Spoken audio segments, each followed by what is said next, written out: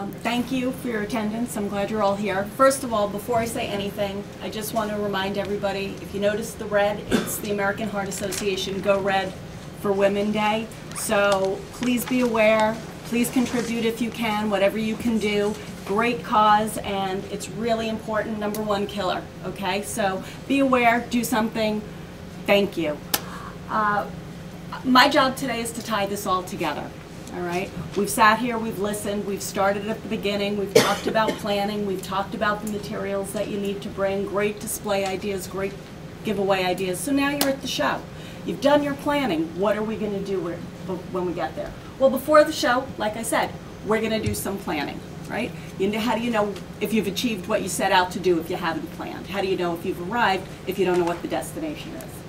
Research your audience right? I'm assuming that because we're all here, we all know that the Business Council is a great avenue for our business. So we want to make sure when we go to a trade show, is it appropriate for us? The, are these the people we want to be talking to? Make sure your table, skirt, and banner are clean. Now I know that sounds like, huh, pretty elementary. Who's going to go someplace with something dirty? You'd be surprised. I have gone to many, many shows and there are coffee stains and there are crumbs and people walk by and say, okay, I'm not going to work with these people because they don't look professional. If you are professional, you've got to project that image. You are what you sell, right? People need to know you, like you, and trust you for them to do business with you. So the first thing you want to do is make sure that you are presenting the professional image, and that starts with what you have and how your area looks. You want to set objectives. Again, how do you know that you've achieved it? How do you know this show, this show worked for you? Any show, you have to know. Look at your space. Mark talked a lot about what the space is going to be. Okay? We know we've got a six foot space. You have to plan accordingly. There is nothing worse and there is nothing that sets off your partners that are to the right and left of you and behind you when you're over your space. Okay? Because we're all there trying to do the same thing. We want to make sure that we're respectful, and you also don't want to be overwhelming because that becomes very intimidating. Assigning responsibilities. How many of you are going to the show with a team? Okay. Have you decide, decided and have you assigned the responsibilities, or is everybody going to be doing the same thing? All right. Very often you get to a show and people are scrambling. I'm talking to this one, I'm talking to this one. The worst thing you can do is have people converging on the one person that's standing there. You want to make sure everybody is aware of what's happening and what their responsibility is. And you want to plan your pre-show promotion. Mark talked about it. Um, Mike talked about it. What are you going to do to bring people in? The Business Council is helping you, but ultimately it's your responsibility to make sure that everything that we do pays off for your own personal business. At the show, all right, this is a great display. Okay, it's beautiful. You can go as upscale, low scale as you want. What are some of the other things that you can do? Well, I'm sorry. Economical. Sorry, sorry, sorry, sorry. Mine is going to be. Here's some low scale tips. If you do not have a backdrop, you want to have some visual interest. When you bring your boxes and you're carrying all your material in, take those boxes. You can put them right underneath the table skirt to have your table have varying heights. All right, something easy, something economical that you can also do, and then plan for next year to make sure that you talk to Mark and get this stuff. All right, but that's an easy way to bring some visual interest, and you want to make sure that people have a reason to come on over to your, your table. Don't display everything at once.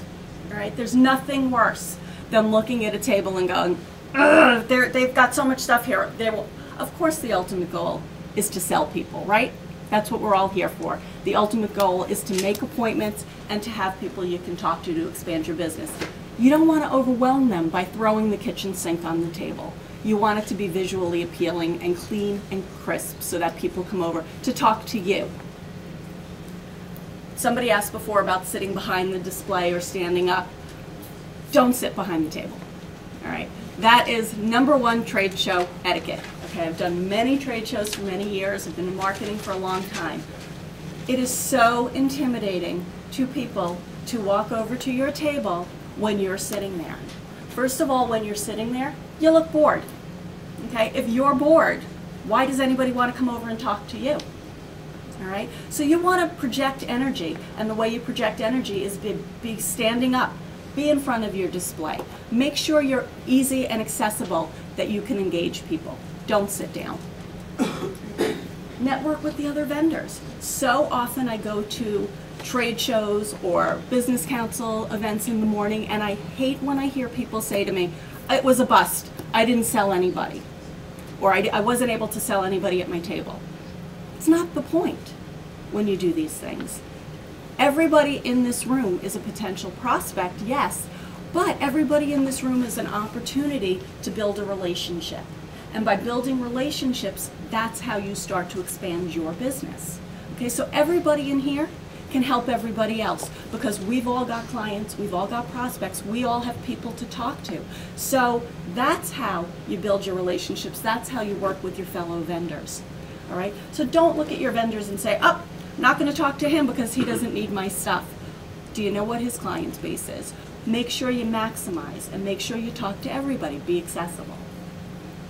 Don't be a space hog. We talked about that already. I'm not going to go into it. But there's nothing more off putting than when you've got your stuff encroaching. I went to a show and we all had our six foot space, and the person next to me came with videos and backdrops, and all of a sudden my space was this big. And I had to go to the show organizer and say, could you please speak to them and ask them to move their stuff over? You don't want to do that, but we're all paying the same money. You want to be courteous. Look at the other exhibits. All of us take the time. Do you all walk the show when you go? Okay. Do you take the time to stop and talk to other people? Do you take notice of what they're doing that's new and fresh? I do all the time. I love to look at everybody else's stuff so I can say, hmm, I'm going to steal that for the next show. So make sure you take the time to take a look at what everybody else is doing.